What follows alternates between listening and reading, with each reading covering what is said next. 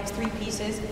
Um, Ricky Ian Gordon is an incredible American composer, so going along with the theme of celebrating a country and the people that are creative within it, I wanted to highlight Ricky Ian Gordon and also Langston Hughes, who has uh, some very good poetry that Ricky Ian Gordon has set to music.